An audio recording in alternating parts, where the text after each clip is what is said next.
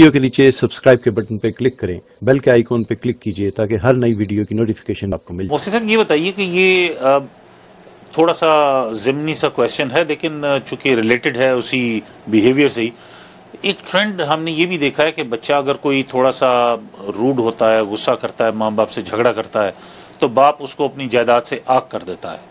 تو اسلامی نقطۂ نظر کیا ہے آگ کرنے کا یا آگ کرنے کے بارے میں؟ یہ اچھا پوائنٹ اٹھایا۔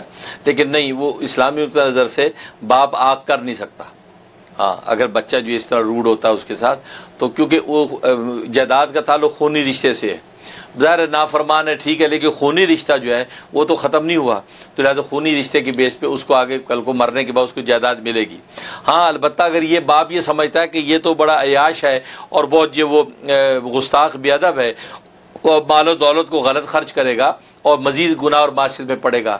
تو اس کا طریقہ یہ ہے کہ وہ اپنی اولاد میں جو نیک سال ہے فرما واردہ جو اولاد ہے، اس اولاد کو زیادہ سے زیادہ دنیا میں بطور تحفہ کے دے دے۔